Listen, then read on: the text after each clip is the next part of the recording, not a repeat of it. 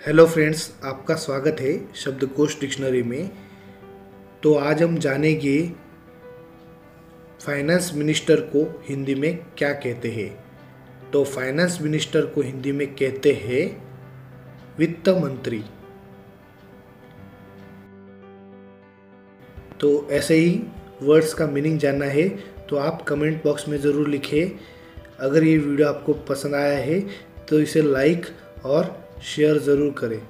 साथ ही साथ हमारे चैनल को सब्सक्राइब करें, क्योंकि इसी प्रकार के और भी इंटरेस्टिंग और नॉलेजेबल वीडियोस हम लाते रहते हैं।